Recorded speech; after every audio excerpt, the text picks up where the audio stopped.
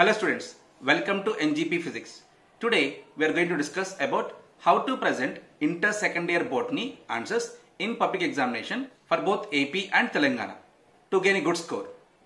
ఇక్కడ ముందుగా ఆన్సర్ బుక్లెట్ని సెక్షన్ బితో స్టార్ట్ చేయడం జరిగింది ఎందుకంటే ఎల్ఎక్యూస్తో స్టార్ట్ చేసినట్లయితే మీకు ఎక్కువగా టైం అనేది కన్జ్యూమ్ ఇక్కడ అయిపోతుంది కాబట్టి సెక్షన్ బితో స్టార్ట్ చేయండి లేదు ఒకవేళ మీకు విఎస్ఎక్యూస్ కనుక బాగా వచ్చు అనుకుంటే అంటే టెన్ అవుట్ ఆఫ్ టెన్ కనుక వచ్చినట్లయితే better start with the VSAQ both AP and Telangana సంబంధించిన పబ్లిక్ పేపర్స్ని గమనించినప్పుడు ఇద్దరికి పోర్షన్ సేమ్ అలాగే క్వశ్చన్ పేపర్ కూడా సేమ్ ప్యాటర్న్ కాబట్టి ఈ విధంగా కనుక నోట్ చేసినట్లయితే బోత్ ఏపీకి తెలంగాణకి సరిపోతుంది.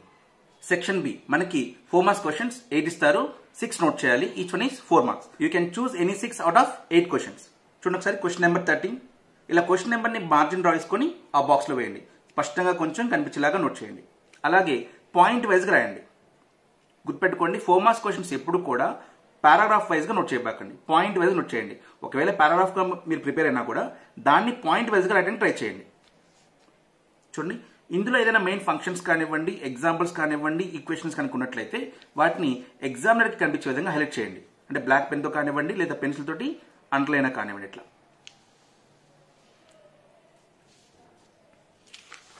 సో మాక్సిమం వీలైనంత వరకు మొదటి రెండు మూడు పేజీల్లో మిస్టేక్స్ చేయకుండా ప్రయత్నం చేయండి. అలాగే హ్యాండ్ రైటింగ్ కూడా నీట్గా నోట్ చేయండి. నెక్స్ట్ సెకండ్ ఎస్ఎక్యూ అంటే క్వశ్చన్ నెంబర్ ఫిఫ్టీన్ని చూస్ చేసుకోవడం జరిగింది. చూడండి. క్వశ్చన్ నెంబర్ ఏ క్వశ్చన్ రాస్తున్నారో స్పష్టంగా నోట్ చేయండి. ఓకేనా? చాలా మంది క్వశ్చన్ నెంబర్ రాంగ్గా నోట్ చేయడం కానివ్వండి మర్చిపోవడం కానీ జరుగుతుంది. కాబట్టి క్వశ్చన్ నెంబర్ జాగ్రత్తగా నోట్ చేయడం నేర్చుకోండి. లేదంటే మీరు క్వశ్చన్ నెంబర్ రాంగ్ నోట్ చేసి ఆన్సర్ బాగా ప్రాపర్గా నోట్ చేసినా కూడా అది మార్క్స్ అనేది వ్యాలిడ్ కాదు అక్కడ. సో ఇక్కడ ఏమి ఇచ్చారు? సెకండ్ ఎస్ఎక్యూ చూడండి ఒకసారి. What is ICTV how are the viruses named కాబట్టి దాని డెఫినేషన్ అందులో ఏదైనా ఫంక్షన్ ఉంటే ఇలా హైలైట్ చేయండి. ఒక క్వశ్చన్ అయిపోయినాక మరొక క్వశ్చన్ స్టార్ట్ చేసే ముందు ఆన్సర్ని మధ్యలో గ్యాప్ ఇవ్వండి. సెపరేషన్ కింద ఒక బ్లాక్ పెన్తో కానివ్వండి లేదా పెన్సిల్ కానీ ఒక లైన్ని డ్రా చేయండి. అలాగే థర్డ్ ఎస్ఎక్యూ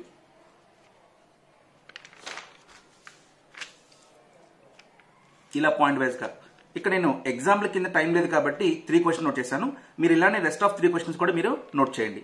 చాయిస్ అనేది ఎలా రాయాలో నేను చెప్తా తర్వాత. ఇంకా మీలో ఎవరైనా మా ఛానల్ కనుక సబ్స్క్రైబ్ చేసుకోకపోయినట్లయితే సబ్స్క్రైబ్ చేసుకోండి. అంతేకాకుండా నీట్ ఎంసెట్ సంబంధించిన ఫిజిక్స్ ప్రాబ్లమ్ సాల్వింగ్ అనేది చాలా మందికి ప్రాబ్లం ఉంటుంది. దాన్ని ఎంత ఈజీగా సాల్వ్ చేయొచ్చు అనేది కూడా నేను అప్లోడ్ చేసినటువంటి నెక్స్ట్ వీడియోస్లో చూడండి. Next section C LAQ part అండి. సెక్షన్ సిలో మనకి త్రీ ఇస్తారు. టూ నోట్ చేయాలి. Each one is eight marks కాబట్టి can choose any two out of three.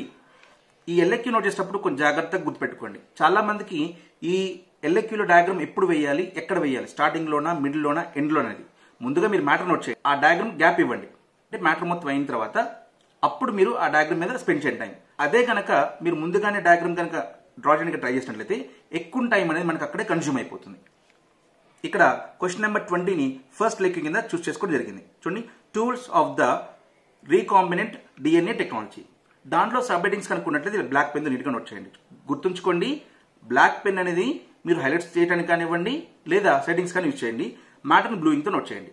లేదు ఒకవేళ బ్లాక్తో కనుక మీరు మ్యాటర్ నోట్ చేసుకోగలిగితే బ్లూతో సెట్టింగ్స్ కానివ్వండి హైలైట్స్ కానీ చేయొచ్చు. ఇలా ఎల్ఎక్యూని కూడా పాయింట్ వైజ్గా నోట్ చేయండి.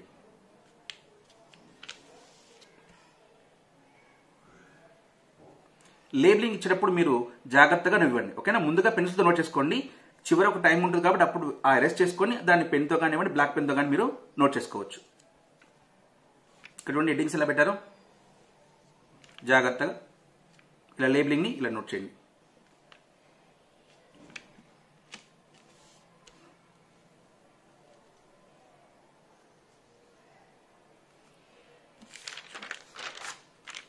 నెక్స్ట్ సెకండ్ లెక్. క్వశ్చన్ నెంబర్ ట్వంటీ వన్ని సెకండ్ లెక్ కింద చూస్ చేసుకోవడం జరిగింది. చూడండి ఏంటిది? టిష్యూ కల్చర్ టెక్నిక్ స్టెప్స్ దీన్ని కూడా పాయింట్ వైజ్ నోట్ చేయండి ఓకేనా?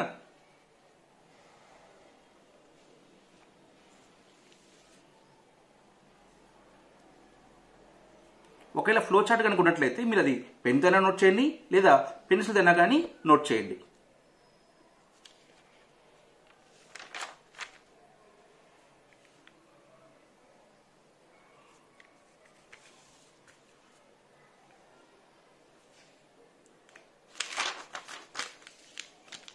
ఈ విధంగా మీరు ట్వెల్వ్ని కంప్లీట్ చేయండి.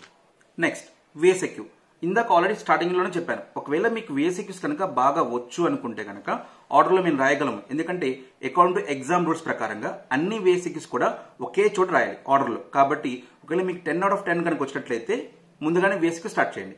లేదంటే మాత్రం ఎస్ఏక్యూ అయినాకైనా స్టార్ట్ చేయండి లేదా ఎల్ఏక్యూ కంప్లీట్ అయినాక నోట్ చేయండి. విఎస్ఏక్యూ నోట్ చేసేటప్పుడు గుర్తుంచుకోండి ఏం అడిగారు మీరు ఏం రాస్తున్నారు? పారాగ్రాఫ్ రాసినంత మాత్రాన మీకు మార్క్స్ అనే పడవు. దానికి ఏం అడిగారు ఆ మెయిన్ ఫంక్షన్ కానివ్వండి ఎగ్జాంపుల్స్ కానివ్వండి డెఫినేషన్ కానీ క్లియర్గా రాయండి. అంటే వన్ ఆర్ టూ లైన్స్ లేదా two or three lines.